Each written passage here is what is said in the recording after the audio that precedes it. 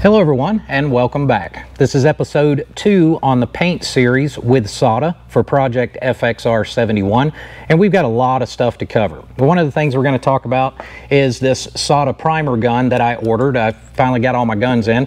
Uh, then we're also going to talk about this tank. If you, if you may have seen in the previous video how rusted out it was. So we're going to cover how I removed the rust from the inside and then sealed the tank and then we're going to pack in a lot of tips and tricks that I've learned from some of the pros I've been talking to on how to make this paint project go as smoothly as possible. So stick around.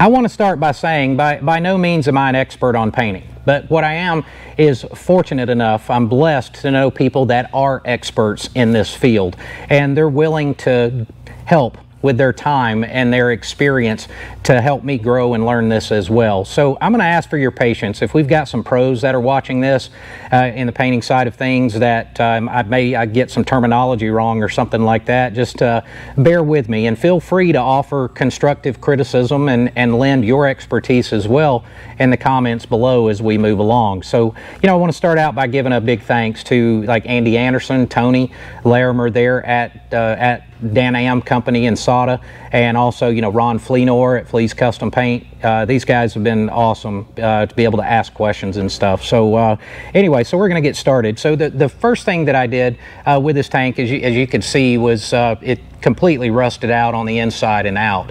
And so where I like to start with that is uh, to actually do a vinegar bath. Now, one thing you can do is order a bunch of these little silicone plugs. As you can see, I've got them in the bottom of the tank for various different reasons that I'll get to in a minute. Uh, so you can order these rubber plugs uh, cheap from virtually anywhere. So where I like to start is to actually do a vinegar bath. So inside the tank, I'll seal up all the holes and I'll fill the tank up with vinegar and a handful of, of say, sheetrock screws, right? And I would strongly encourage you to count the screws uh, when you put them in. Now, you want to let that vinegar soak for, uh, you know, upwards of 45 minutes to an hour in some cases. And every few minutes, pick up the tank and agitate it really good, flip it around. And that'll get the, loosen up a lot of the scale and loose pieces of rust and things like that and kind of start to etch it. Then after you do that, drain the tank entirely. Uh, I re remove all the screws and then also give it a good rinse. Now, the second step is actually, and you got to be careful with this stuff, guys, uh, muriatic acid. Muriatic acid is actually a bit of a diluted hydrochloric acid, and it's some pretty nasty stuff. So you want to make sure that you've protected yourself, the clothing, the gloves, you know, a, a respirator, uh, and, and you're doing it in a well-ventilated area because it's some very nasty stuff to work with. You want to have plenty of, of water around and that sort of thing, uh, and maybe even some baking soda in case you spill it or something like that. So just be careful with it. But uh, after you rinse out from that vinegar stage, then put about a gallon of muriatic acid in the tank and it only takes about 30 to 45 seconds okay? Uh, pour that in agitate it inside the tank really well uh, and you know maybe you know pull your uh, rag or something you have on the top pull the rag look down in there see if it's all gone. Agitate it again but again it should only take about 30 to 45 seconds and then pour out all of that muriatic acid into a safe place dispose of it properly all that type of good stuff. Remember it's nasty nasty stuff. Uh, and the second that you get that poured out I'd, I just put a uh, pull the plugs out of the bottom and put a water hose in it turn the water on wide open and just let it sit and flush and then once, uh, once you've got that done, then I like to drain the tank again. And then I'll pour in MEK, methyl ethyl ketone. You can get that from any paint supply store, really. Uh, acetone would work as well, just not, it doesn't etch quite as well as MEK does. MEK is also some very nasty stuff, so uh, very nasty solvent. So then I'll put about a gallon of MEK in and shake that around for a couple of minutes, give or take drain all of that out, dispose of it, of course.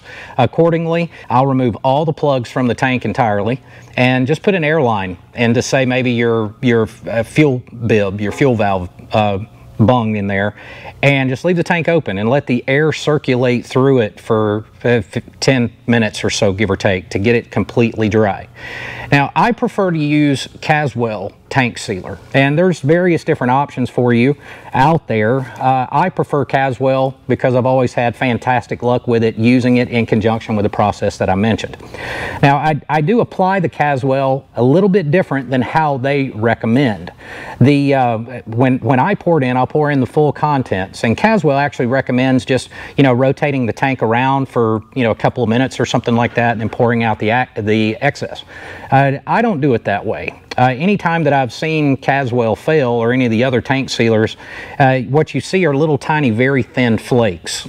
And so I know with the Caswell, once this stuff cures, I'm actually forming a bladder on the inside of the tank. So if something happened, say, and it delaminated the, from the tank for, for whatever reason, I've never had that happen, but if it uh, delaminated from the tank, I would at least have a thick layer left where it could hold its own, own shape and not break off into little tiny flakes and then getting, you know, fuel filter, getting your carb, that sort of thing. So uh, what I'll do, I'll pour the entire contents in, I'll find a comfortable place to sit, and then rotate the tank very slowly looking inside and uh, this until it stops flowing on the inside of the tank. So, you know, sometimes this can take this can take 30 to 45 minutes in some cases. Remove all the plugs from it, uh, use either a pipe cleaner or you can even blow air through it uh, into like your vent uh, your for your vent lines and, and anything like that that, uh, that, that blow that out. Make sure those aren't obstructed right during that process as well. And then once you do that, leave everything open and let the tank sit for a couple of days. Now we move to the tank and how remove the rust there. I, this one was rusted up bad enough that I decided to bead blast it. So you could use sandpaper, of course, uh, but that, that could take a while on this tank as bad as it was. So I put it in the bead blaster to remove the bulk of the rust.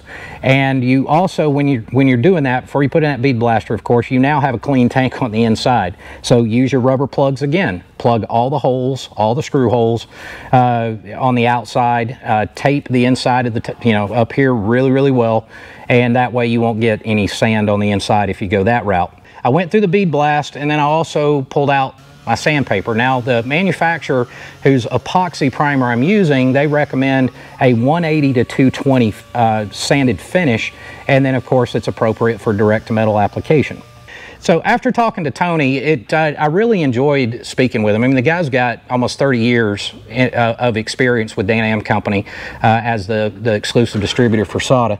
Uh, so he, based on you know, my input, he recommended several guns for me uh, that that kind of fit how I how I think that I would paint. You know, I've done a lot of practicing along the way. So one of my limitations, as I'd mentioned before, or I guess you would say challenges, is being blind in my right eye.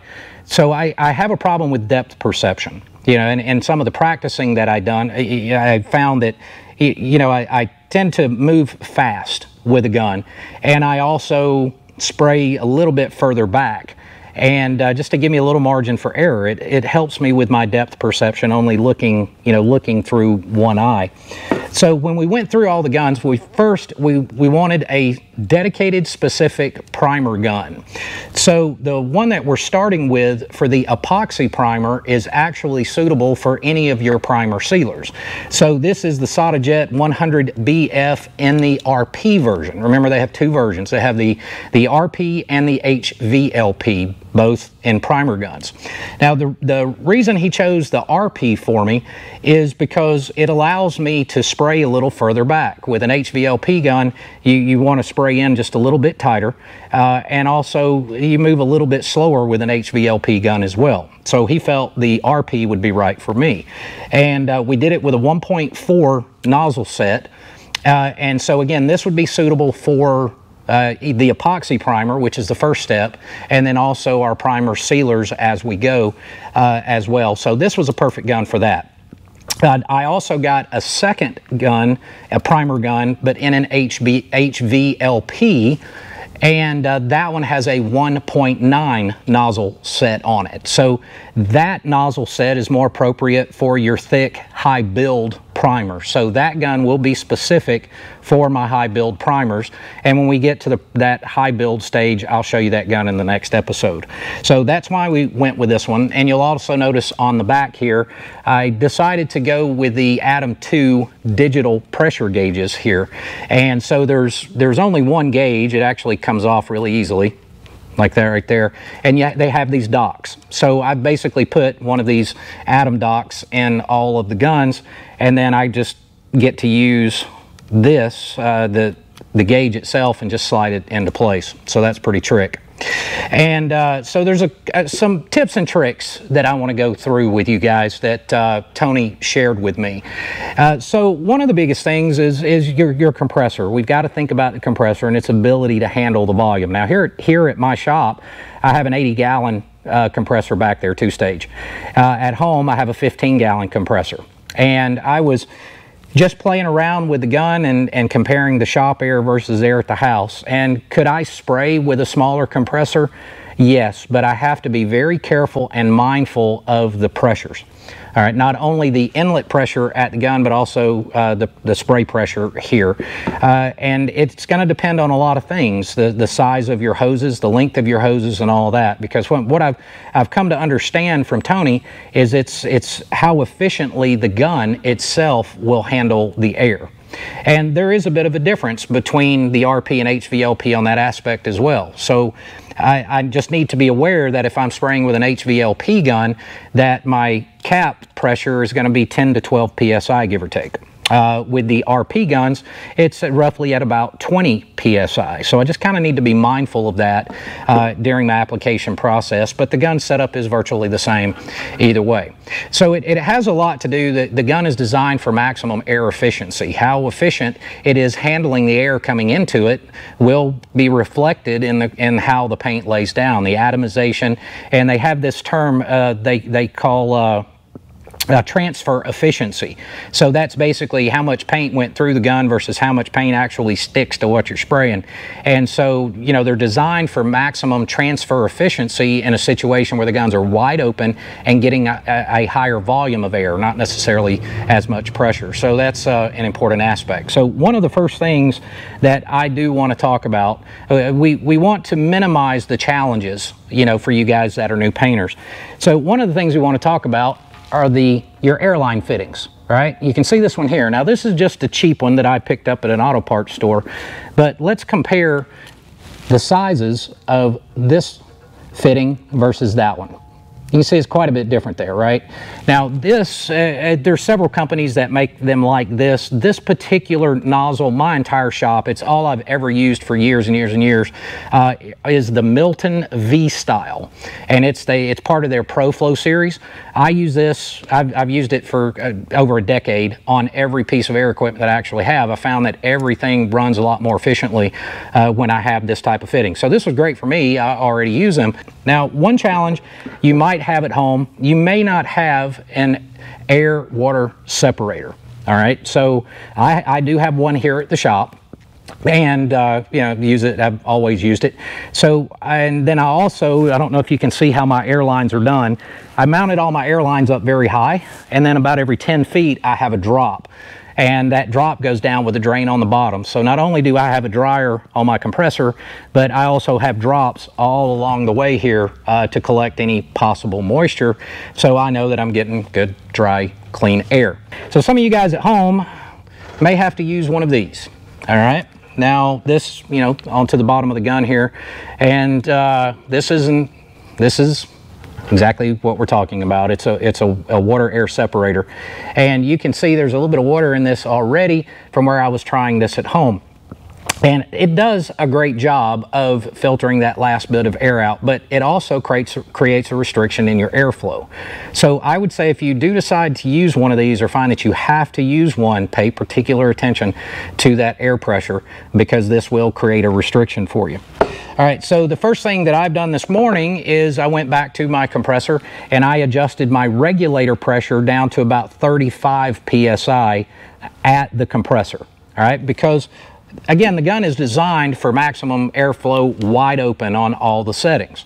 So uh, kind of, I, I don't want to rely on the gun to try to reduce my pressure. You know, most shot pressure can be 100 to 120 psi, which is where I run mine most of the time.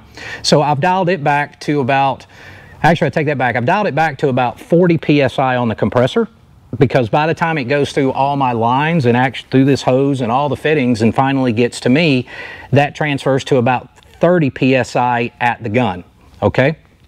So uh, it's adjusting at the compressor to get to about 30 psi on the gun, and then I use the adjuster here to dial it down to 26 to 28 psi, which is where Tony recommended that I spray. So let's go through the process of setting that up, adjusting the gun, and then we're actually going to run some water through this uh, because I want to review with you what each one of these knobs do on the side and how it affects how you're going to spray. All right, you can see we got our Adam dock installed here, and then when you supply air to the gun, uh, it automatically turns it on. All right, and right now we're actually at about 44 PSI at the gun. My compressor is, uh, is completely charged and all the lines are open. And so if we pull the trigger completely, we're gonna see that we drop 27, 26, 27, and we're between 26 and 28 psi when we're actually spraying. Now, if I were to take, and this is how you adjust it right here, so if I pull on this, I can dial that fully open. And you can see I'm fully open, I'm at 29 psi. So now I'm gonna dial this back down until I get an average of about 28. All right, so that's the first place we're gonna start. Now, let's put some water in it and a piece of cardboard and let's look at some of the adjustments. One of the other things that I ordered from SATA is their disposable cup system. As you can see here, it has all your mix ratios all the way around the cup here. So it makes it real easy to, to do all of your, your mixing, quite frankly. Uh, it comes with a cap here, also comes with a cap uh, for the top there if you have to store it for a few minutes. And then there's filters that go on the inside as well. So this makes this a, a lot easier to spray. Of course, we've just got water in it now to demonstrate how the adjustments for the gun. All right, and the system's pretty easy how it works, right? It's just uh, basically a quarter turn into the top of the gun right there. And then before you start spraying, you wanna make sure that you lift snap that up right there, allows the airflow to flow through. So one of the first things we want to do is make sure that our air cap is horizontal because we want a vertical spray pattern. And we're going to set that right there. Okay, so we've got the pressure set. We can verify that again on the Adam 2, and we can do a little test spray. That's actually quite an incredible atomization there, all right? So again, the guns are designed to operate wide open. And so we've got our pressure valve dial back just a little bit here. We've got our fluid nozzle, which I'll get to that just a second. I've got it all the way out. And uh, basically what this, this knob does here is adjust the travel of the needle itself. So be before I hooked up my air, I actually had pulled the trigger all the way and adjusted this all the way out so my trigger was fully open, you know, fully back, right? And then dialed the dialed the fluid adjuster to where it just started putting pressure onto uh, on onto the lever here, right? So uh, I know that I'm operating wide open on on the fluid here. Now this is uh, Tony actually calls this the flat round knob. So if I turn this all the way counterclockwise, I'm going to get a very, you know, a flat fan pattern like you see here. All right. Now, if I take this and I dial it all the way back in, it's going to produce a round spray pattern. Like that, quite a bit different. So let's do a test spray wide open and see what it looks like. I'll give you another little tip of, and this came from Tony and Andy and Ron and a few guys. You know, when, when you see people doing test sprays, sometimes they'll just go like that. And that's not a real accurate representation of, of, of the actual fluid transfer.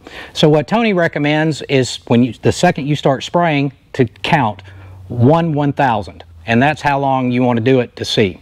Uh, you'll also see, I've, I've seen a few videos where guys will actually turn the air cap vertically and spray and look at the runs on the vertical to see if they have an even spray pattern and look at the runs as it comes down. And again, you know, Tony feels that that's really not an accurate representation either.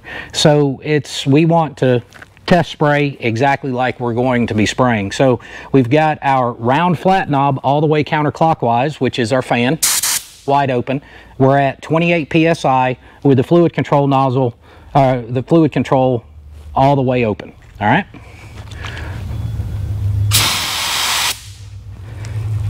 All right, I know I'm using it with water. It's kind of hard to see, but what I've got is a very broad, uh, a, a, nice pattern here that covers a large area with virtually no overspray in this area right here, uh, which is pretty incredible.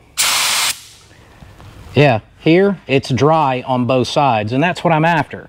Now, one adjustment you can make if you've got a little bit too much overspray in this area, then you can actually dial that knob down just a little bit to tighten it up. But if I were to do a you know a big turn clockwise, making it more round, you see how I'm going to get a circle, and we don't want that. You can see how all of that. So we want to try to leave this all the way open. Now, if I wanted to spray a smaller area, say I didn't want to do, you know, I just want to do kind of a spot repair but keep my fan pattern, that's when we would dial in our fluid control. We want to keep the fan wide open but dial in our fluid control. And you can see I can get into a much smaller area there and that fan's about that big all right, and that, that size area there. So that's where you would use that fluid control. And then if we had a, you know, a very, very small spot repair, for example, we could either use a mini jet or we could begin to dial this down in the area uh, to, to get it more of a round pattern. And then that's when you would bring in your, bring in your fluid control and you could do a, and get closer. And see, we still have no overspray around in this area here but that allows me to do, you know, much, much smaller areas. But since we're doing total coverage, we're going to leave it, we're going to leave it wide open. All right, one of the next things we want to talk about is spray distance. As I'd mentioned, you know, with an RP, it's got a little higher cap pressure, but with an RP, I can actually be a little further off of the surface, uh, somewhere in the six to eight inch range uh, when I'm doing my spraying.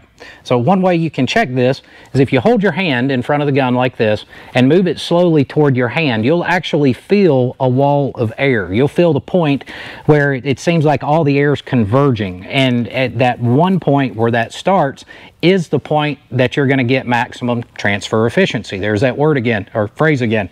And so that's the distance that you want to be from the surface when you spray. So if we and I can feel it around, about right there. So about that distance. And we're at around six to eight inches, give or take, right? And you can actually, if you listen closely, you can actually hear it, all right? Hear the point where the tone changed? So from that point right there, I'm about like that. So let's put some water in it and run a pattern.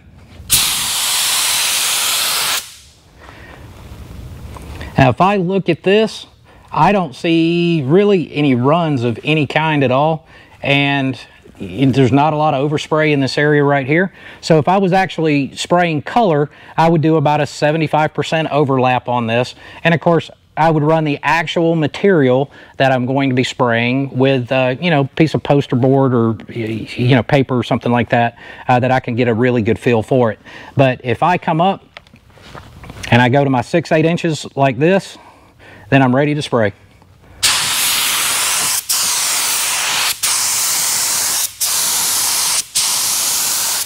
With about a, as you could see, about a 75% overlap. So we'll practice that again.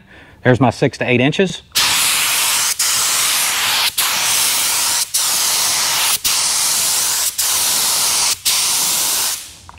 And there we go.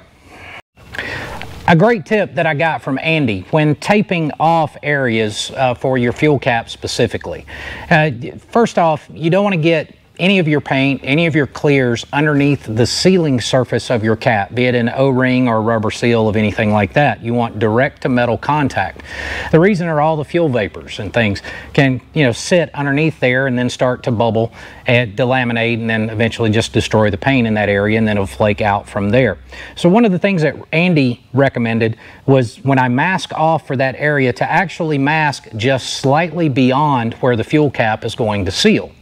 And to, to maintain that over the course of all of my primer base in clear stages. And then once I'm done, retape that area, but bring the tape right to the point of the sealing surface of the cap. Then apply your final clear. And that way, that last stage of clear will actually seal the edges of all the layers of underneath it, and you won't have that buildup of paint underneath the sealing surface. And so I've plugged all the holes, as you can see. All right, one of the things I'm also going to mask off is around the threads for the bung, uh, for the, fuel valve.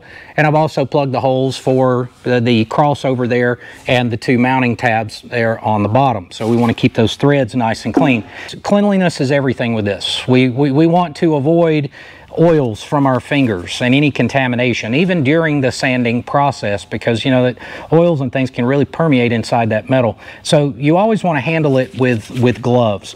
And at each step and several steps along the way, while we're sanding, remember how much rust I had on this tank, while we're sanding, you can just use an aerosol glass cleaner. And I like to use a lint-free microfiber instead of a, uh, you know, using paper towels and things like that. At this point, other than getting into the little nooks and crannies that the DA couldn't get to, you know, you use your hands, of course. With that 180 paper, you can also get a very coarse red or coarser Scotch-Brite to get into those areas uh, that your DA can't get into. But other than that, at this point, I would clean it again with with the uh, glass cleaner. I Also grab a new microfiber, it's completely clean, and I would wipe it down with a wax and grease remover and then also a tack cloth and start to spray my epoxy primer. Unfortunately, it has been raining for two days straight, and uh, it's a little too humid for me to be spraying. The temperature's perfect, but remember, I don't have a paint booth yet. So I have to be mindful of the weather. It's just entirely too humid uh, to spray that. So uh, in the next episode, we'll be reviewing the gun again from SATA. We're going to go through and spray that epoxy primer and let it cure. And then we'll start talking about guide coating high build primers, the gun for the high build primer and all that type of stuff. And before we take off and do that, again, I need to give a big thanks to uh, Andy Anderson at Anderson Studio, Ron Fleenor, and especially Tony Larimer at Dan-Am Company and SATA for helping me out through this process. These guys are sharing information with me and teaching me, and then you get to see me do it and I get to teach you. So I'm very excited to be doing this and a big thanks to those guys for, uh, for helping me out. So until next time, guys, uh, we'll be ready to spray. Hope you've enjoyed the video. If you haven't subscribed and you think I've earned it, please hit the subscribe button and hit a thumbs up and also the reminder bell so you'll get a notification next time I post a video. See all those engines? We've got a bunch of engine teardown videos coming as well. Take care of yourselves and each other, guys. Have a good one.